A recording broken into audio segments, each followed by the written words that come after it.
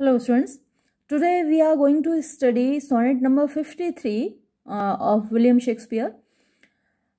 What is your substance? Means what is the stuff that you are made of? Substance means material, stuff. So what are you made of? What is क्या है your substance? तुम्हारा तत्व तुम्हारा material किस चीज़ के तुम बने हुए हो?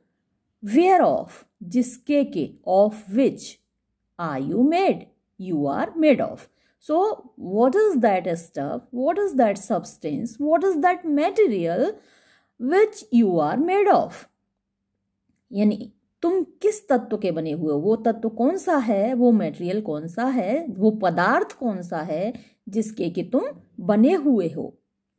That millions of strange shadows on you tend. That के मिलियंस ऑफ़ स्ट्रेंज मिलियन दस लाख को बोलते हैं। तो मिलियंस ऑफ़ मीन्स लाखों। स्ट्रेंज मीन्स अजीब सी मीन्स अनरिकग्नाइजेबल जिनको पहचानना मुश्किल है। स्ट्रेंज शेडोज शेडोज इमेजेस तस्वीरें pictures on you tend tend means मतलब ऐसा इंटेंशन होता है, ऐसा बनता है, ऐसी टेंडेंसी होती है कि तुम्हारी लाखों तस्वीरें बनती हैं।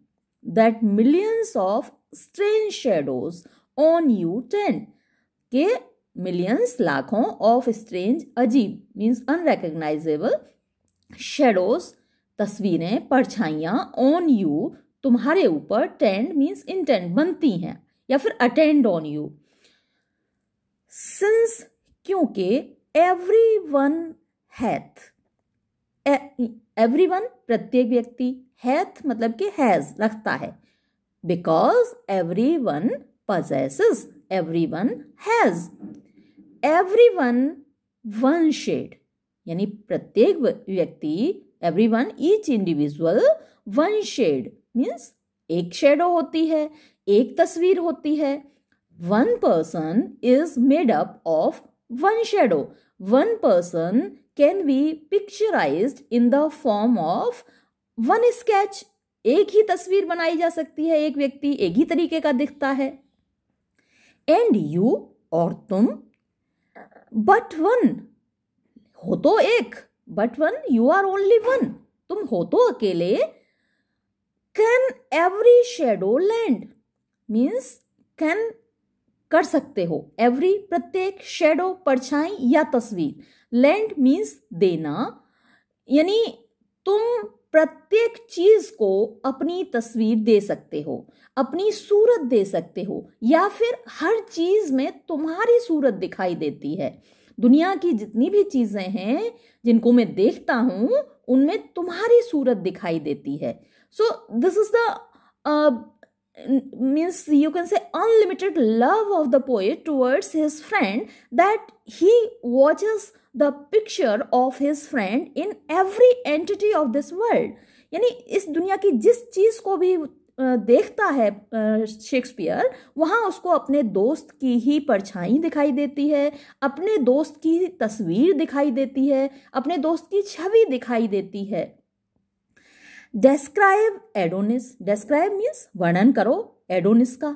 एडोनिस ग्रीक मैथोलॉजी में सबसे ज़्यादा खूबसूरत बंदों में से एक है। खूबसूरत जो युवा होते हैं, बहुत हैंडसम यंग मैन है एडोनिस और इतना हैंडसम है कि जो खूबसूरती की देवी है, जो प्यार की देवी है वीनस वो भी अपने आप को कंट्रोल नहीं कर पाती एडोनिस को देखकर और उसको प्यार हो जाता है एडोनिस से। इतना खूबसूरत, इतना हैंडसम यंग मैन है एडोनिस ग्रीक माइथोलॉजी में।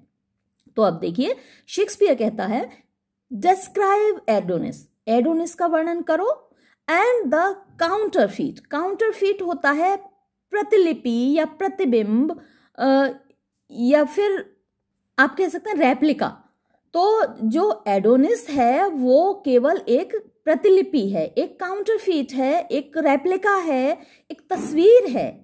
Is poorly imitated poorly means बड़े बेतरतीब ढंग से, बड़े बेकार ढंग से इमिटेटेड मीन्स कॉपी की गई है, नकल की गई है आफ्टर यू तुम्हारे, तुम्हें देखकर आफ्टर यू मीन्स तुम्हें देखकर।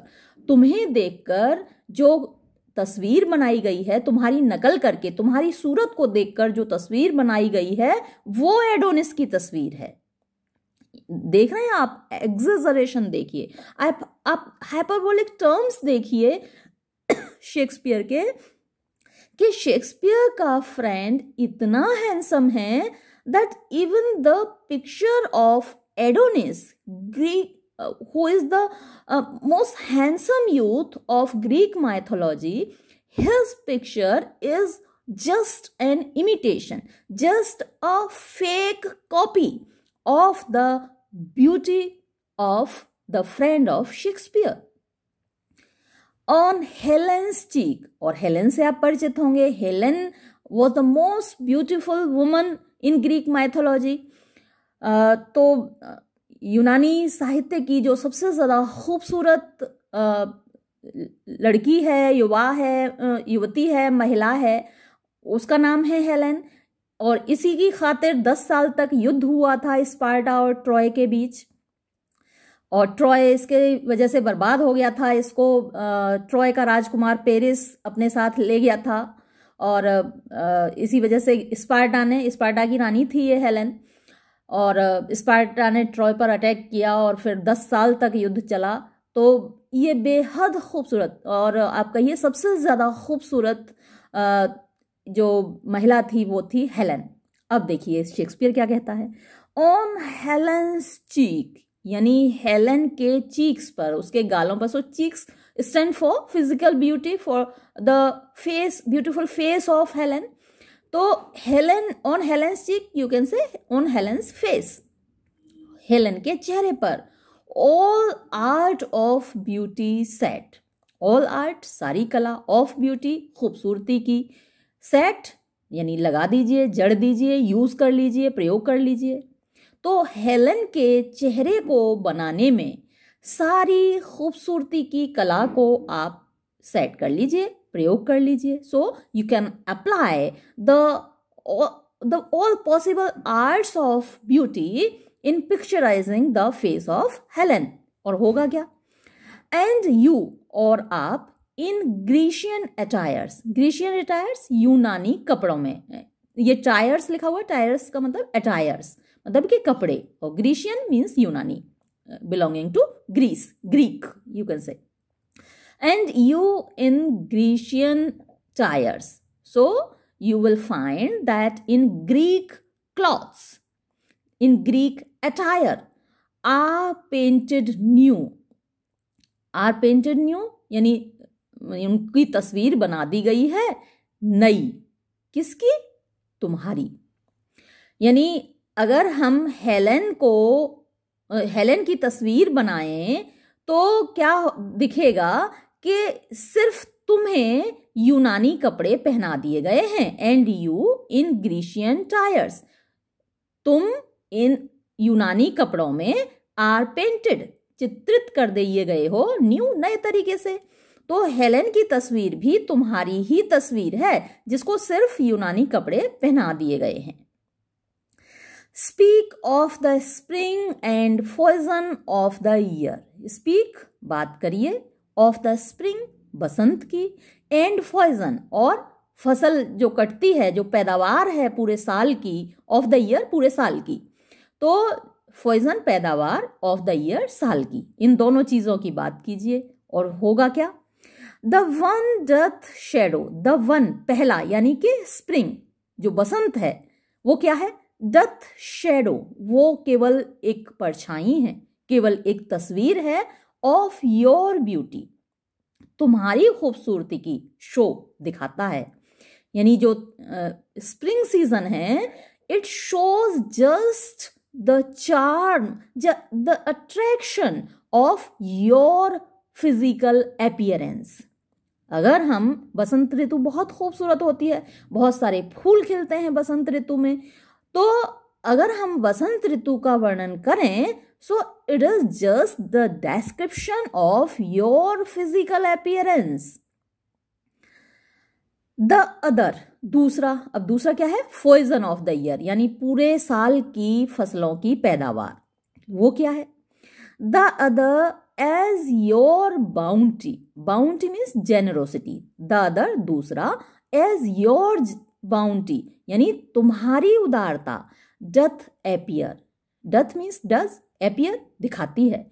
तो जो दूसरी चीज़ है, यानी पूरे साल की फ़सल तुम्हारी उदारता को दिखाती है। धरती पूरे साल में जो फ़सल देती है, धरती बहुत उदार है, धरती माँ, हमको इतना हम एक बीज बोते हैं और हमें ढेर सारा देती है। तो ये उसकी उदारता है, ये उसकी जेनरोसिटी है। लेकिन वो क्या है अकॉर्डिंग टू शेक्सपियर कि द अदर दूसरा, यानी पूरे साल की फ़सल एज योर बाउंटी तुम्हारी उदारता जथ एपियर यानी दिखाती है। So the whole harvest of the year the all the products that are harvested throughout the year they show the generosity of the friend of Shakespeare and you और तुम in every blessed shape in every प्रत्येक blessed जिससे ईश्वर का आशीर्वाद प्राप्त है। Shape, आकृति, छवि, तस्वीर, वी नो, हम जानते हैं। यानी जो भी है दुनिया में दिखाई दे रहा है, वो सब तुम ही हो। यू तुम ही हो इन एवरी ब्लेसड शेप हर ऐसी आकृति में जिसको कि ईश्वर का आशीर्वाद प्राप्त है, वी नो, हम जानते हैं। So, everything that we see in this beautiful nature, which receives the blessings of God, everywhere you are manifested in different shapes, my friend. Shakespeare says it. In all external grace, you have some part. In all यानी सारी external बाहरी grace खूबसूरती जो भी दिखाई दे रहा है बाहर You have तुम रखते हो सम पार्ट कोई ना कोई अंश। यानी हर चीज़ जो इस दुनिया में दिखाई दे रही है, चाहे खूबसूरत पहाड़ हों, खूबसूरत नदियाँ हों, फूल हों, पत्ते हों, चिड़िया हों, तितलियाँ हों, पंक्षी हों, सब में तुम्हारा ही अंश है। In all external grace you have some part so in all the external scenario that is visible to our eyes, you are manifested in some part. But you, like one, but you, लेकिन तुम like none, तुम किसी की भी तरह नहीं हो यानी सब तुम्हारी तरह हैं सब में तुम्हारा अंश है सब तुम्हारा मैनिफेस्टेशन है, सब तुम्हारी प्रतिलिपि है, लेकिन तुम लाइक नन तुम किसी की तरह नहीं हो, तुम किसी की नकल नहीं हो। नन यू कोई तुम्हारे जैसा नहीं है।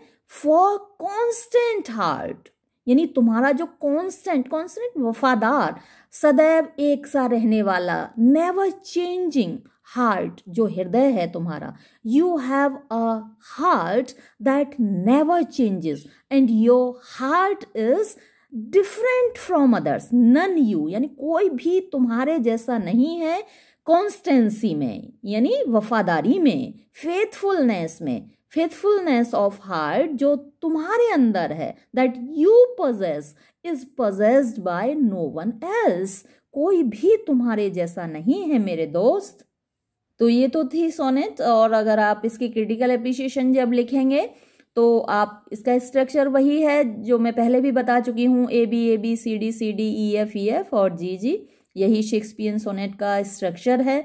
और यहाँ तो दो ग्रीक रेफरेंसेस भी हैं जो आपको देने हैं क्रिटिकल अप्रिशिएशन लिखते वक्त। एडोनिस का रेफरेंस है हेलेन का रेफरेंस है ये आपको आ, बताना है। ये ये तो आप देख ही रहे हैं कि जब किसी को आ, कोई एडोर करता है किसी को कोई प्यार करता है शेक्सपियर अपने फ्रेंड को इतना ज़्यादा प्यार करता है कि उसमें सारी दुनिया की खूबसूरती शेक्सपियर को दिखाई देती है। हालाँकि कभी कभी ये हाइपरबोलिक हो जाता है। मीन्स बियॉन्ड आपके बियॉन्ड ट्रस्ट हो जाता है अनबिलीवेबल हो जाता है।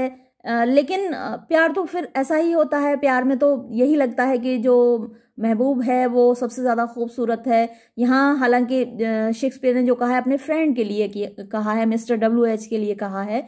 तो मिस्टर डब्ल्यू एच उसको दुनिया में सबसे ज़्यादा खूबसूरत लगते हैं। उनके जैसा कोई नहीं है। हर जगह शेक्सपियर को हर खूबसूरत चीज़ में शेक्सपियर को मिस्टर डब्ल्यू एच ही दिखाई देते हैं। तो इस तरीके से आप इसकी क्रिटिकल अप्रिसिएशन लिखेंगे। ये वीडियो हम यहीं समाप्त करते हैं। धन्यवाद।